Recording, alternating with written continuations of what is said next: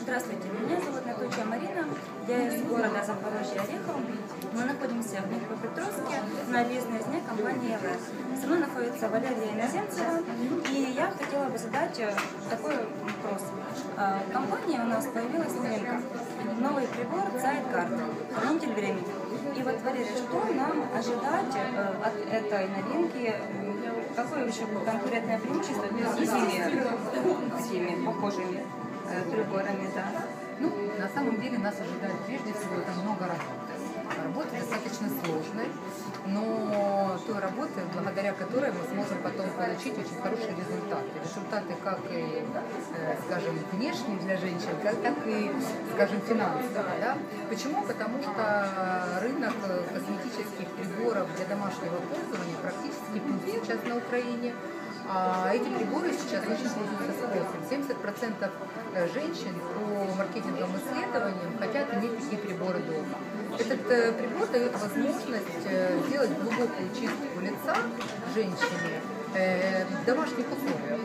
И поверьте, в тот э, такой образ жизни, который у нас сейчас достаточно насыщенный, да, мы все ходим на работу, мы заняты э, скажем так, э, нам- мы должны приготовить все дома, нам не дает шансов сейчас тратить это время. Поэтому э, этот прибор дает возможность нам всего за одну минуту каждый вечер да, сделать свое лицо очищенным. А мы прекрасно понимаем, что чистое лицо это что?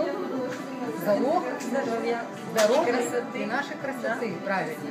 И если мы занимаемся чисткой пор раз в месяц, а порой некоторые даже вообще не бывают на чистке у косметолога, то, конечно, и получается такой результат спустя э, время. То есть э, нам надо сейчас сформировать вот этот потребительский спрос. Это очень тяжело, да, потому что надо научить людей, объяснить людям, почему это важно для них. Но с другой стороны, пройдет еще 5-10 лет, и такие вещи будут в каждом доме. Марина, у вас есть э, дома какой, хотя бы один предмет какой-либо сетевой компании? Конечно.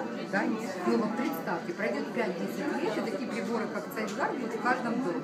Да, мы должны это сделать. Это сейчас нелегко, но зато мы получим потом шанс от этой нашей работы получить очень большие финансовые результаты. Спасибо вам большое, Валерия. С вами была Марина Антуча и Валерия Леденцева. Всем пока.